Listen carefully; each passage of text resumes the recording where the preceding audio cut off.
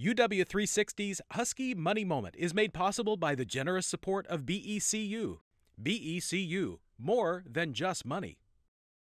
Hi, I'm Austin Siedentoff, and welcome to the Husky Money Moment.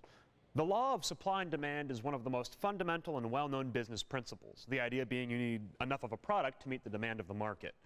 But what happens when that product is people, or in this case, graduates? We'll let students with the UW Department of Computer Science and Engineering take it from here. My name is Awet Alazar, and I'm a CSE major at UW focusing on cloud computing and mobile development. I want to work on the progression of cloud computing and how it relates to mobile development in the future. My name is Jessica Tsang, and I'm currently a computer science major at the University of Washington. I am mainly focused on machine learning and natural language processing, and in the future I hope to work for a large company while developing applications on the side that foster social interaction.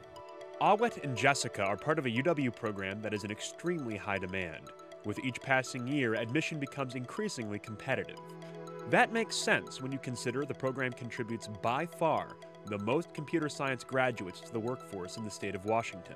Following internships with Microsoft, Awet and Jessica have both been offered full-time positions with the local tech giant.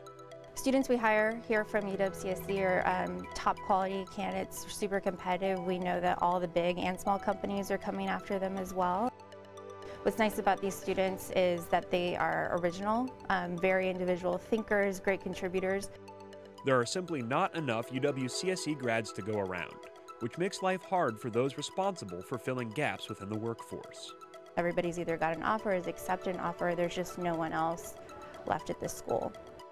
Fortunately, this wonderful building, which was constructed just 12 years ago as a public-private partnership, is now full to the brim. So another thing we're working on is uh, building a second building that will make room for the uh, expansion. The students are there, the employers are there.